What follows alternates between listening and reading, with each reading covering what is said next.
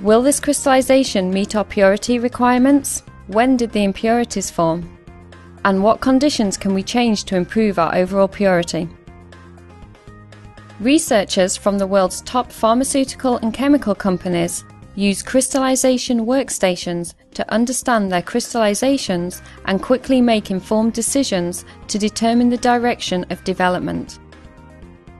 In a recent study, PVM, a particle vision and measurement tool, was used to quickly identify the exact solvent and seeding parameters that produced the desired crystal morphology, minimized agglomeration, and delivered the desired purity. In a separate study, in only two experiments, PVM was used to pinpoint how and when an impurity was formed. This meant a robust crystallization was developed that avoided a phase separation. By providing immediate visual understanding, a crystallization workstation, coupled with PVM, enabled scientists to make informed decisions that improve crystal purity.